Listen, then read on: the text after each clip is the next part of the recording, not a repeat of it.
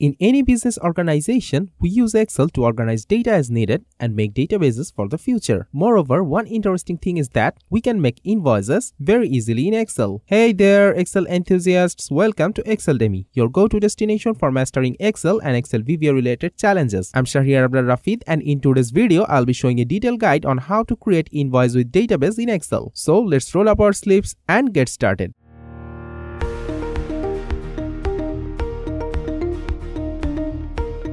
For this tutorial, I'll be using Microsoft Excel 365. I'll accomplish the task in various steps. First, I'll make a draft of the invoice to ensure which information you want to see in the invoice and how the invoice will look. However, I'll gradually go forward and use Excel formulas to make an automatic system for this. In the product section, I'll manually select ID and give units and I want to get the rest of the calculation automatically. First thing first, I need a database for the goods. Here is a sample database I am taking for demonstration. This list contains a series of IDs for different products along with the product names and prices for each unit. Next, I'm going to show the core invoice template. With this in mind, I have created this data range as the invoice template. You can input the invoice number and date manually in these cells. Here are the columns of ID, product name, price, units, and subtotal. In addition to that, I kept dedicated cells for total orders with tax calculations. Keep in mind that you can always create new rows between them in Excel, so you don't have to worry about that while making this invoice template.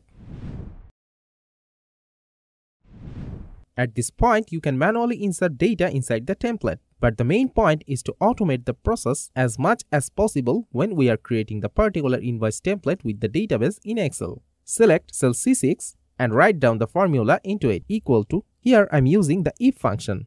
Press tab to insert the highlighted function. As the logical test argument, I'll use another function which is the isBlank function. As the value argument, I'll select cell B6, close the parenthesis, comma, as the value if true argument, I'll insert a blank space. As the value if false argument, I'll use the VLOOKUP function. As the lookup value argument, select cell B6, comma, as the table array argument, I'll select cells in the B5 to D14 range in the database worksheet, comma, as the column index argument, I'll insert 2, comma, and as the range lookup argument, I'll use false, which is for exact match. Close the parenthesis. Again, I'm closing the parenthesis and press enter. Here, the VLOOKUP function searches for the value in cell B6 on the range B5 to D14 in the database sheet and shows the output from the second column of the range where the exact match occurs. This isBlank function checks if cell B6 is blank or not and returns a boolean value which is true or false. Finally, the if function checks if the isBlank function returns true or not. If it does, then it returns an empty string. Otherwise, it proceeds with the VLOOKUP portion of the formula. In summary, this formula will fetch the product name from the database sheet according to the ID and it will keep this cell blank if the ID cell is blank also. Now, in cell D6, insert another formula to fetch the price from the database sheet. This formula is also similar to the previous one.